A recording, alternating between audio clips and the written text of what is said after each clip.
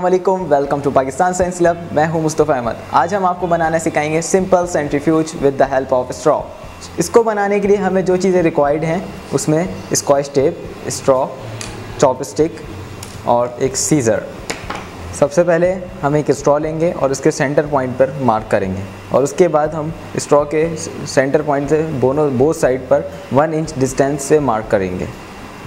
अब हम इस चॉप स्टिक के ज़रिए इसके सेंटर में होल करेंगे।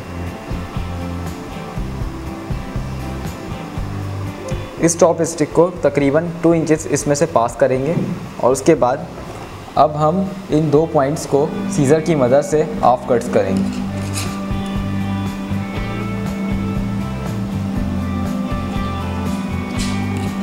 अब हम इन दोनों पार्ट्स को बेंड करेंगे और उसके बाद जो एक्स्ट्रा पोर्शन निकल रहा है, उसे हम कट कर लेंगे सीज़र की मदद से।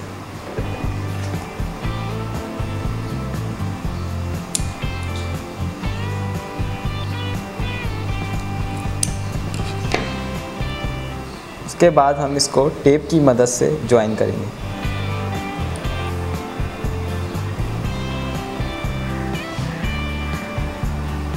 अब हमारे पास सिंपल सा स्ट्रॉ सेंट्रीफ्यूज रेडी है।